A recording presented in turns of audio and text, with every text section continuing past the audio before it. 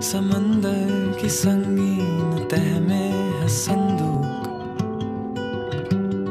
संदूक में एक डिबिया में डिबिया में डिबिया में कितने मानी की सुबह। वो सुबह के जिन पर रसालत के दरबंद अपनी शुआओं में जकड़ी हुई, कितनी सहमी ये संदूक क्यों कर गिरा?